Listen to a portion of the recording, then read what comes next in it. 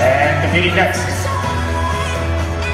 in Open Division 2 from Belleville, Illinois, please welcome Lindenwood University, Belleville.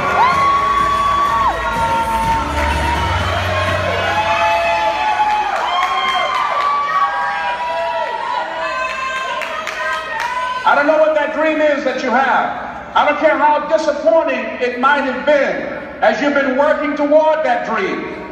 But that dream that you're holding in your mind, that it's possible, that some of you already know that it's hard. It's not easy.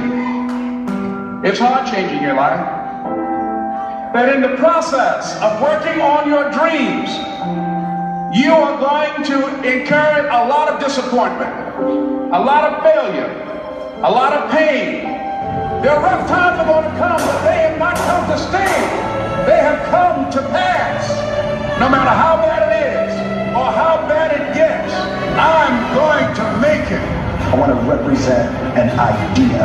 I want to represent possibilities. When you want to succeed as bad as you want to breathe, then you'll be successful. And when you get to the point where all you want to do is be successful as bad as you want to breathe, then you'll be successful. But I'm exactly where I want to be because I realized I got to commit my very being to this thing. I gotta, I gotta breathe it, I gotta eat it, I gotta sleep it. And until you get there, you'll never be successful in life. You can make your parents proud. You can make your school proud. You can touch millions of people's lives, and the world will never be the same again because you came this way. Don't let nobody steal your dream. But you're still